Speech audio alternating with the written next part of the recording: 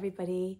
Uh, today is my 26th birthday and um, I've had a really lovely few days. Um, went on a lovely morning walk and just feeling unbelievably grateful and blessed and just incredibly proud of myself uh, uh, for how far I've come on this journey. And um, I just thought it would be perhaps useful to discuss how um, like I've changed the narrative of my birthday around. So for me, my birthdays have always been a really difficult day. Again, when when everything hit the fan last year and I um, lost a lot of my self confidence and and belief in myself, I came to realize that I actually had never had that self confidence and belief in the first place. It was all sort of uh, false false sense of worth that I had created from the circumstances that I was living in. So I was looking at the circumstances, I was looking at the people that I was surrounded by, and from that I was taking all of my self worth, all of my um, self confidence, because I would go, well, of course I must be like that because um, X, Y, and Z is occurring in my life. And when everything fell apart, I realized that I didn't have any of that within me. And that was something that I had to completely rebuild. And part of that rebuilding process was shedding a lot of limita- limiting beliefs um, and shedding the blocks that I'd created within myself um, to say that I wasn't worthy and I wasn't confident and that um, all these kind of things. And obviously, during last year, I had another birthday and it brought up a lot of um, these feelings. And uh, for this birthday, I could feel those feelings ar- arising again um, because they're all just thoughts, right? The thoughts happen and then we tend to get a sensation in our chest, but those two aren't necessarily linked. Um, and if we sit with the sensation, you can feel that it's got nothing to do with the thoughts because the thoughts will change, but the sensation remains. And you've just got to like feel that sensation out to its end. So I was starting to get some thoughts around my birthday, similar old patterns of beliefs coming up, and a certain level of anxiety within me. And basically, um, I really struggled a lot with believing that I was a nice person growing up and believing that I was um, liked and and maybe popular would be a better word. I didn't ever feel that growing up, and I really struggled a lot um, in my friendships with people because I think I was looking to them a lot to give this this um to give me like love and and um to give me this feeling that I was a nice person. So I was asking my friends to to help me feel like I was a nice person rather than just deciding that I was a nice person, you know, and it's silly.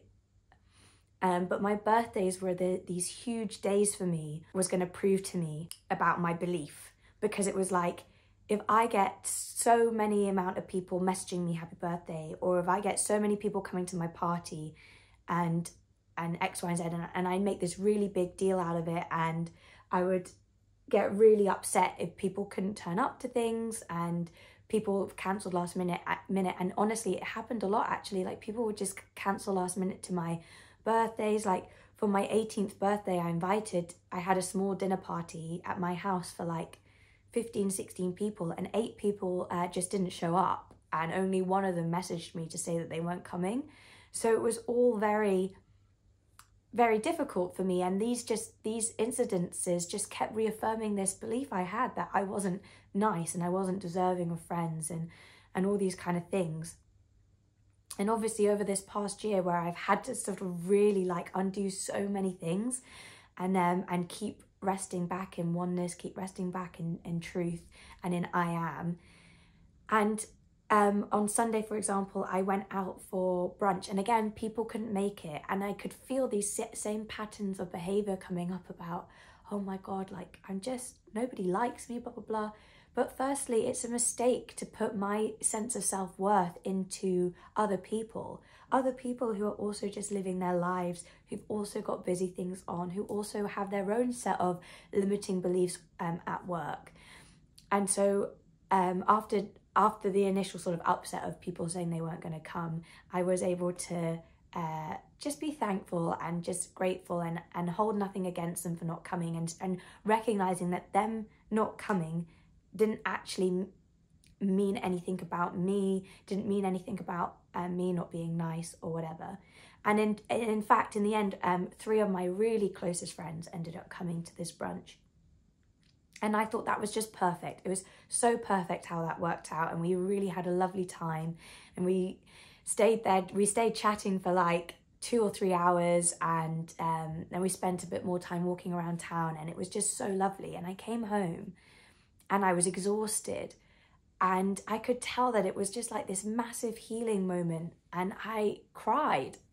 Not, and for the first time, I didn't cry because I was sad and I um, felt like my birthday wasn't going well. I cried because I was so grateful. Um, I'm so grateful to have met so many wonderful people now and to have these really wonderful friends that um, love me and, and I love them and, and it's just something that I just really um, struggled with for a lot and a lot of my friendships have really been repaired through all of this and I feel so unbelievably grateful, like I said. Like, it's just wonderful to finally have, after all these years, like what I wanted. I just wanted really solid friends that I could call up and go, let's go do this. And they'd go, yeah, let's do it. And that came and turned up and showed up for me in that way. And I think it just goes to show that when you do do the healing work and when you do let go of these beliefs and you literally just see your thoughts as thoughts, like they're just not true, and that they're the whole reason why you perceive life badly. Like an event is completely neutral. So it's completely neutral that my friend, one of my friends, couldn't come to the brunch because um, of a work shift. That that's a completely neutral event. Me thinking that that's proving that I'm a not a nice person is my thought and it's my belief and it's just it's not truth. You can't quantifiably in any way say that that's truth. It's just a perception. And um, and just being able to let that go and being able to just witness witness the nonsense that your ego is just saying to you all the time and seeing the truth behind that is just wonderful and i think it's really important when you do have um, these moments in your life so for example it's my birthday and i'm so unbelievably happy and I'm doing what I want, and in no way do I feel like I'm having to prove myself or have a certain amount of friends or have a big party. And for me, that's a massive win.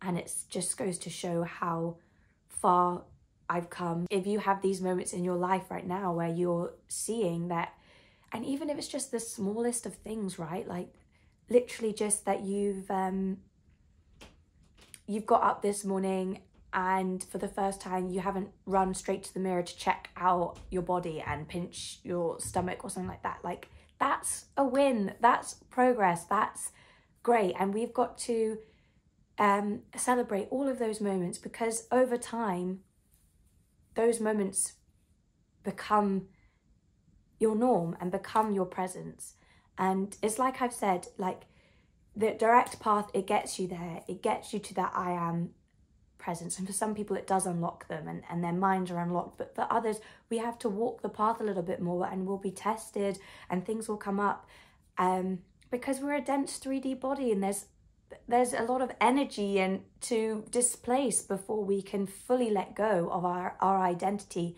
to the separate self to the bodysuit. So just take every little win is a win and I hope that you can all celebrate with me today, wherever you are. I am just doing lots of little things to treat myself today. I'm not putting any pressure on myself. I'm just sitting in with myself and asking what what is it that I'd like to do. And to be honest, all I'd like to do this evening is just hang out with my mum.